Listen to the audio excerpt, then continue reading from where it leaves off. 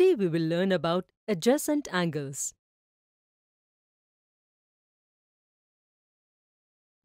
A picture of a fan is shown here. If we consider any two angles, they are adjacent angles to each other. But to identify whether two angles are adjacent or not, we need to understand the concept thoroughly. So let's go through the concept of adjacent angles. Suppose ray OB, OA and OC start from the common vertex and extend in different directions. In this way, they form angles angle AOB, angle AOC and angle BOC. If we talk about angle AOB and angle AOC, then there are few facts to consider. For example, here, the vertex O is the common vertex of both the angles. Similarly, ray OA is the common arm of both these angles. The non-common sides are on either side of the common side. That is, their interiors never cover each other. Hence, there will be no overlapping.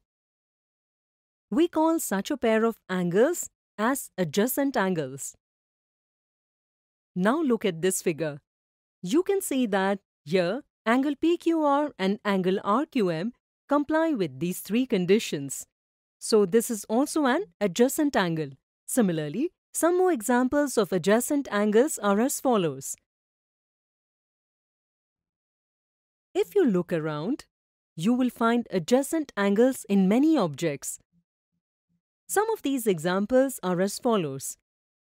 Can you think of some more examples like this? Give it a try. Now look at this figure. Do you think the angles shown here are adjacent angles? Think for a while. Let me tell you, the vertex of both angles is not the same. The vertex of one angle is A while the vertex of the other angle is B. Therefore, the angles shown in this figure are not adjacent angles. Now look at this figure. Do you think the angles shown here are adjacent angles? Let me tell you, in this figure, the vertex of both the angles are the same, but they do not have any common sides. Therefore, the angles shown in this figure are not adjacent angles. Now, look at this figure. Do you think the angles shown here are adjacent angles? Think for a while. Did you get it? The vertex of both angles are the same.